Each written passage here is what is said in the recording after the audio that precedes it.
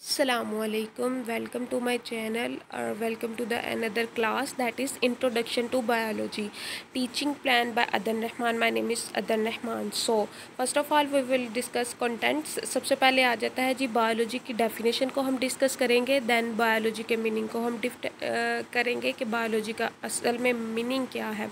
फिर हम देखेंगे बायोलॉजी की कुछ मेजर ब्रांचेज इसकी मेजर ब्रांचेज कौन कौन सी हैं? फिर हम देखेंगे बायोलॉजी की फर्दर ब्रांचेज कौन कौन सी हैं।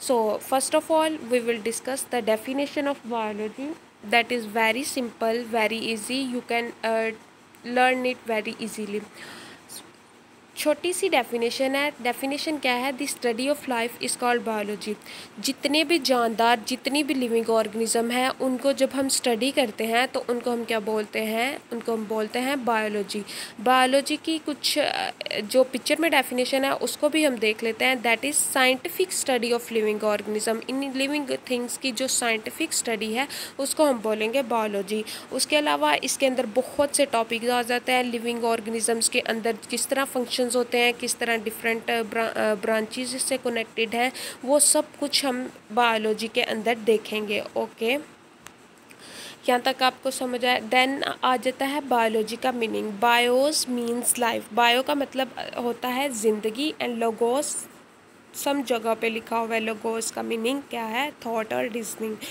के ज़िंदगी के बारे में सोचना और इसकी वजह बयान करना कि लाइफ किस तरह एग्जिस्टिंग में आई लाइफ के क्या क्या मराहल हुए, किस तरह इसने एवोल्यूशन की ज़िंदगी ने, वो सारा हम बायोलॉजी में देखते हैं। इसके अलावा कुछ जगहों पे लॉजी का मीनिंग्स जो है, वो दिया हुआ है स्टडी ऑफ़ मतलब bio means life logy means study of ज़िंदगी की स्टडी, इसको, या ज़िंदा ऑर्गेनिजम्स की स्टडी, इसको भी हम बोलते हैं बायोलॉजी देन हम देख लेते हैं बायोलॉजी की major branches three major branches हैं बायोलॉजी की। फ़र्स्ट ऑफ़ ऑल है जी जोलॉजी जोलॉजी के बाद है बॉटनी बॉटनी के बाद माइक्रोबायोलॉजी अब देखते हैं जोलॉजी क्या होती है। जैसा कि पिक्चर में ही आपको दिख रहा होगा zoology is the study of animals or the branch of biology that deals with the study of zoo animals is called zoology animals की स्टडी को हम क्या बोलेंगे? जोलॉजी बोलेंगे।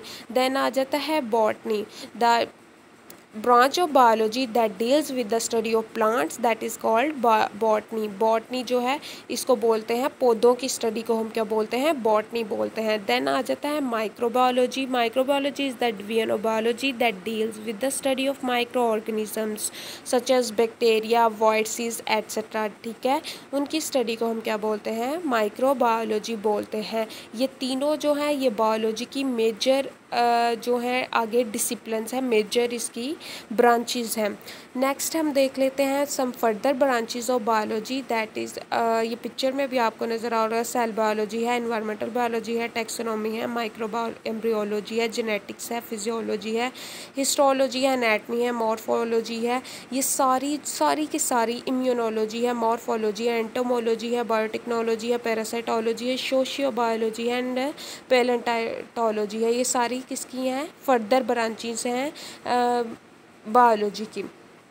इसके अंदर ये मैंने सारे नाम बता दिए अब हम लेटस इनको वन बाय वन डिस्कस कर लेते हैं। Morphology this branch deals with the study of structure of living organisms के ऑर्गेनिजम्स किस तरह बने हैं, उनका स्ट्रक्चर क्या है डिफरेंट ऑर्गेनिजम्स के डिफरेंट स्ट्रक्चर होते हैं। सो हम मॉर्फोलॉजी के अंदर वो सारे डिफरेंट स्ट्रक्चर्स पढ़ते हैं। देन आ जाता है anatomy the study of internal structure अब जो ऑर्गेनिजम्स के अंदर क्या कुछ पाया जाता है लाइक अगर ह्यूमन है ह्यूमन किस से मिलकर बना है सेल्स किस टाइप के हैं इसके अंदर?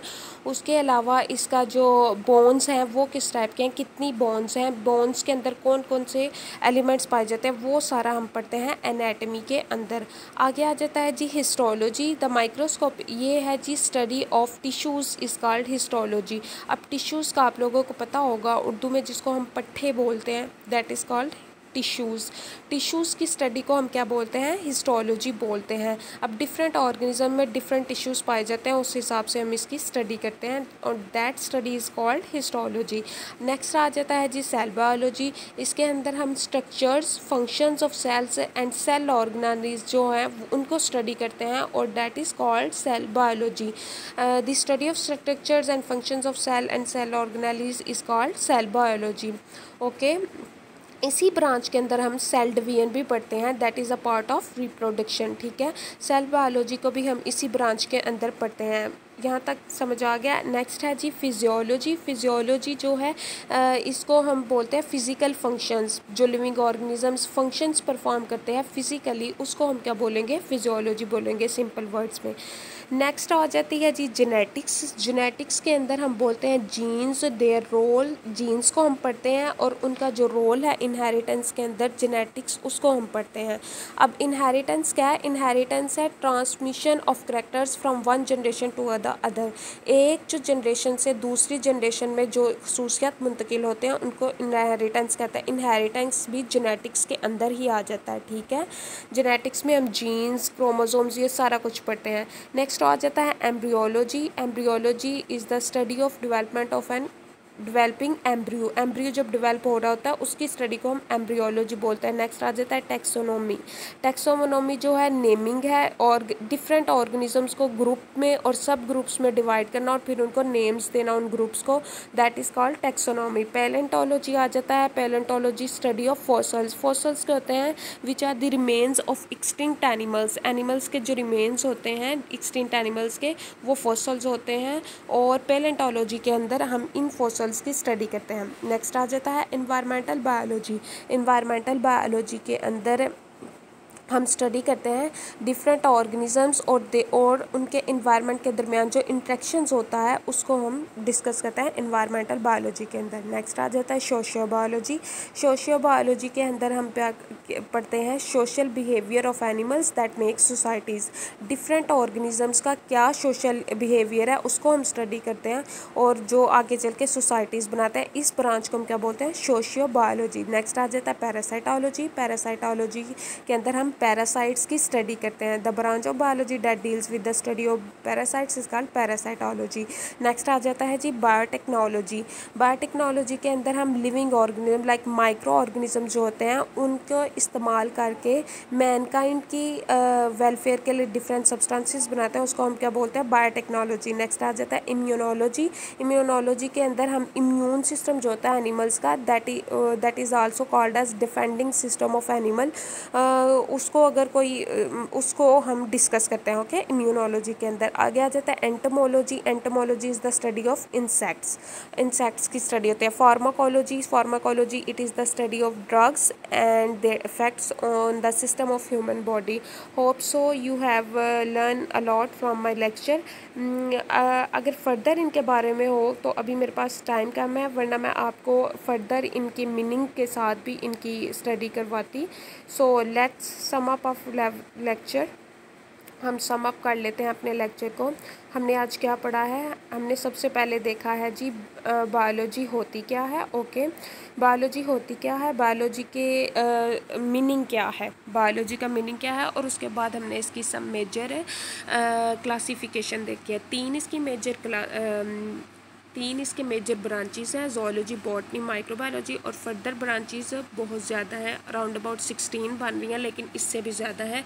ये मैंने आपको सिर्फ़, एक वो करने के लिए बनाई है। ये देखें, इधर मैंने पिक्चर में बयान भी किया है जोलॉजी के अंदर taxonomy anatomy pathology genetics physiology ecology पेलन पेलोलॉजी embryology ये सारे इसके अंदर आ जाते हैं। नेक्स्ट है बॉटनी प्रोटोजोलॉजी इकिथोलॉजी मेमोलॉजी और इनिथोलॉजी और एंटोमोलॉजी ये सारी इसकी ब्रांचेज़ हैं प्योर एंड अप्लाइड माइक्रोबायोलॉजी की हैं। माइक्रोबायोलॉजी की कुछ ऊपर वाले में भी ब्रांचेज़ हैं, जो आप देना hope so you have like my lecture इन अब अगले लेक्चर के साथ मिलेंगे। जजाकल्ला खैर। स्टे कनेक्टेड अल्लाह हाफिज़।